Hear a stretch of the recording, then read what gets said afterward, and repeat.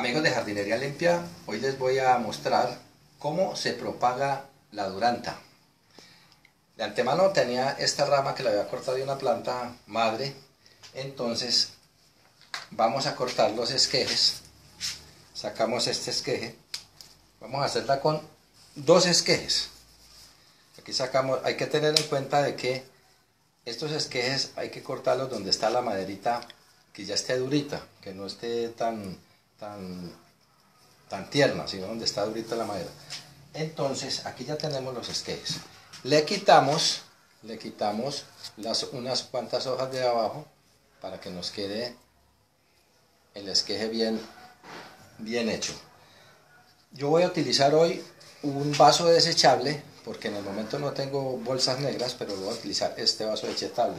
Ya tengo aquí la tierra, la tengo remojada Vamos a llenar el vaso. Un poco.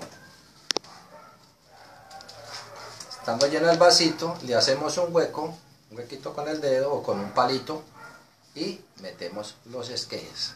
Apretamos un poco. Esta planta, esto debe ir a la sombra.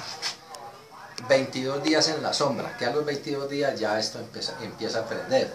Se va para la sombra. Después de que pasen 22 días y, la planta ya, ha prendido, entonces se saca, se saca unos 5 días que es de sol y de ahí se siembran en la parte donde se van a sembrar o se pasan a una maceta o se pasan a, tierra completamente en el terreno, directamente en el terreno o donde se va a hacer la barrera. espero que les sirva este video. Hasta la próxima.